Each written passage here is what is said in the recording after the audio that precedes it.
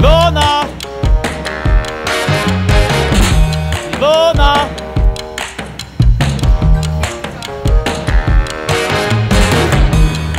Druga?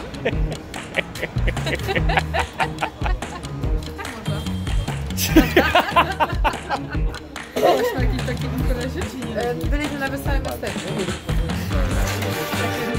Proszę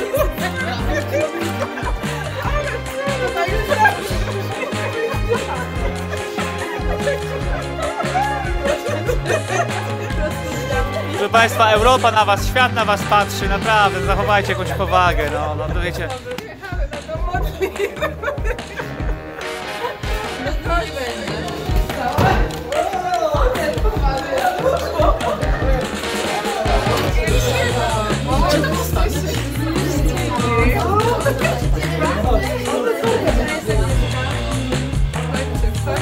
Seba, tak się nie spinaj, bo to chodzi o to, żebyś naturalnie wszedł właśnie, wiesz?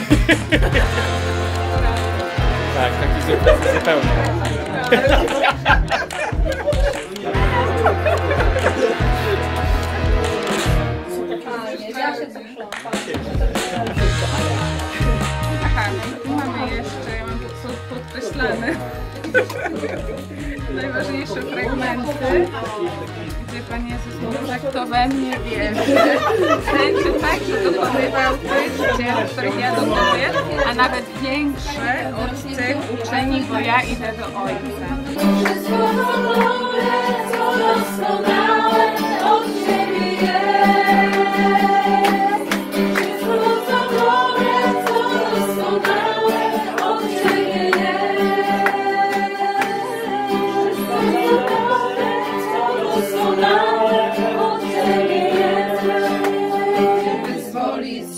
Myśliwego i od złudnego słowa.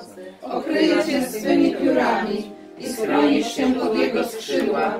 Jego wierność okupia ci tarcza. W nocy nie ulękniesz się strachu, ani za dnia strzały, co leci, ani zarazy, co nadchodzi w mroku, ni moru, co niszczy w południe.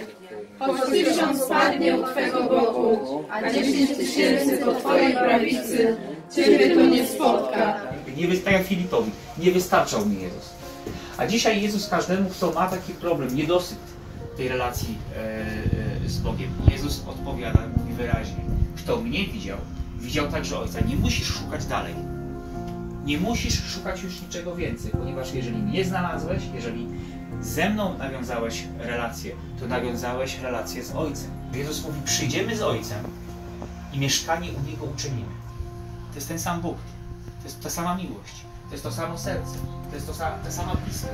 Jeżeli kochasz, jeżeli Twoja miłość jest konkretna, praktyczna, e, realna, nieudawana, jeżeli zaczynasz e, robić coś, co jest z miłości, to wtedy staje się cud. Amen. Ponieważ przychodzi Jezus z Ojcem i zamieszkuje w Twoim życiu. Iwona mieszka w centrum Londynu, w maleńkim pokoiku z wnęką kuchenną, z łazienką na korytarzu. Ale to jednak w jej mieszkaniu dokonują się cuda. To tutaj ludzie rozpoczynają nowe życie z Jezusem, dokonują się cuda nawrócenia.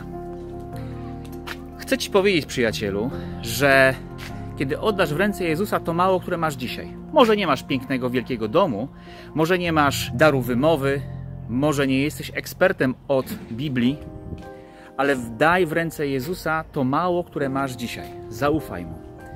Otwórz drzwi swojego domu. Zaproś przyjaciół. Pomódlcie się razem i zobaczysz, jak cudownie Bóg będzie pomnażał dobro w Twoim życiu i w życiu tych, których zaprosiłeś, którym otworzyłeś serce i drzwi swojego domu. Do zobaczenia.